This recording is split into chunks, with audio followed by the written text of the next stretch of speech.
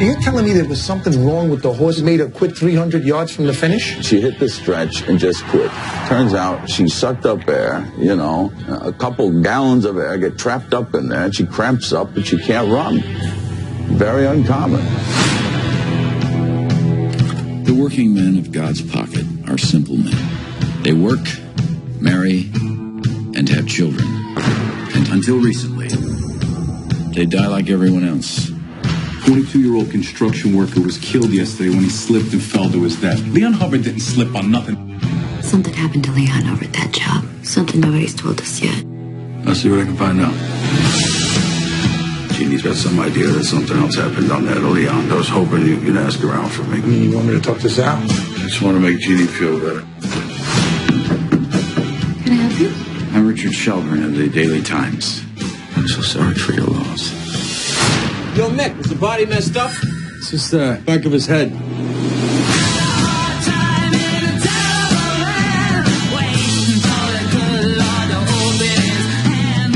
What I did has nothing to do with you. And what you got to worry about is making sure that everything is all right, and then you get your money.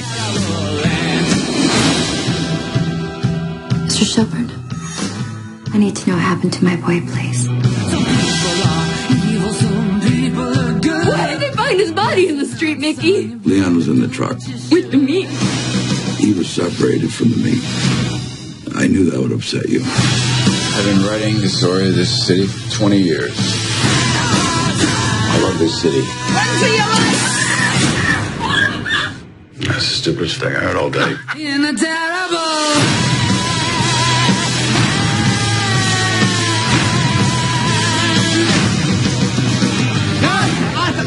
I'll kill you! Stop, stop, Arthur. You're getting, Yeah. you're getting blood all over your pants.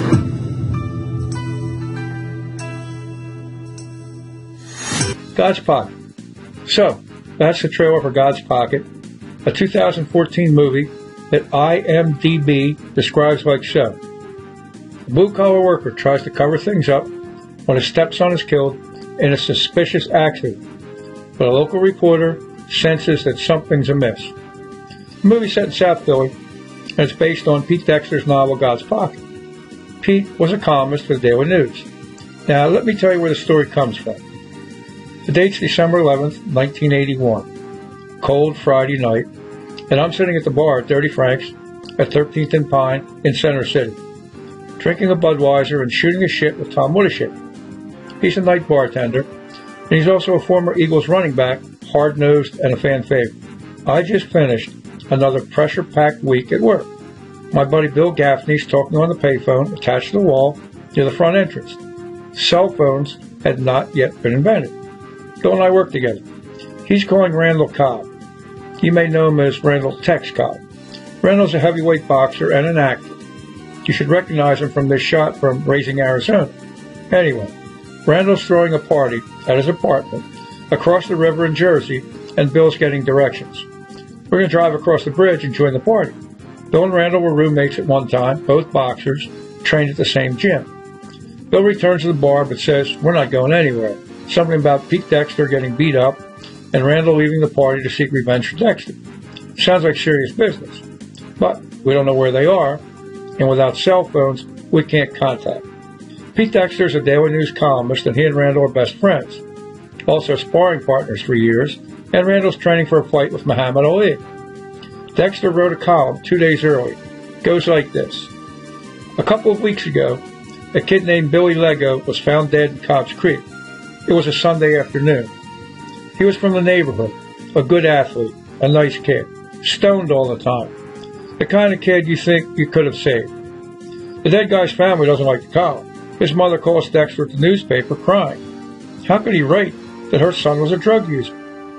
Before Dexter can answer, the woman's other son jumps on the phone and demands a retraction.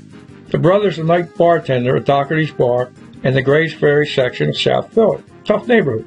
So Dexter goes straight to the bar to try to work things out, and he goes alone. He finds the bartender and four other men waiting for him, and once again, the brother demands a retraction. I ain't changing nothing, Dexter says. I trust my sources. I'm just here to tell you that. Dexter never sees the first punch coming. Someone's fist crunches the right side of his face and sends bits and pieces of his teeth flying out of his mouth. and he never sees a second punch coming either. He escapes the attack and drives straight to Randall's apartment in Jersey. Now, Dexter, Randall, and seven other guys from the party drive over to Doherty's bar, seeking retribution for what just happened to Dexter. We want to join them, cover their backs, but have no idea where they are.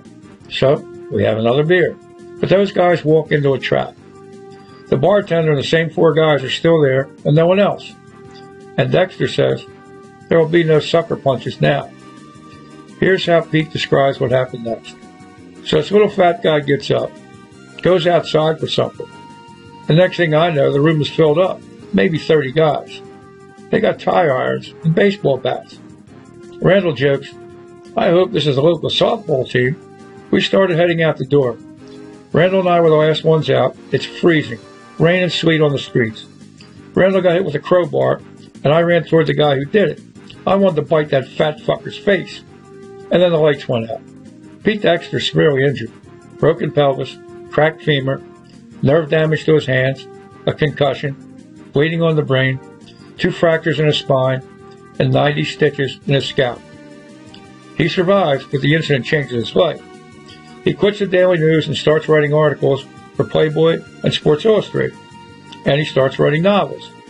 God's Pocket, Deadwood are two. Deadwood goes on to become an HBO series, and God's Pocket becomes this movie. Randall got his arm broken, and his fight with Ali is canceled. He does recover and eventually fights Larry Holmes for the world heavyweight title in the Astrodome.